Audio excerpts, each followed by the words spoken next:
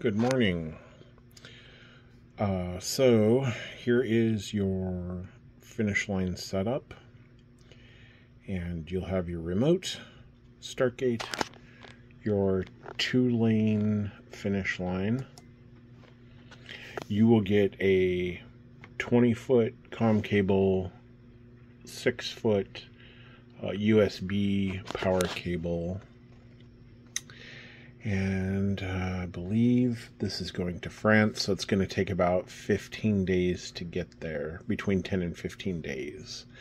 So, your uh, you'll put your cars in here. You'll use your remote. Cars will go through here. One button reset. Again, cars go through here.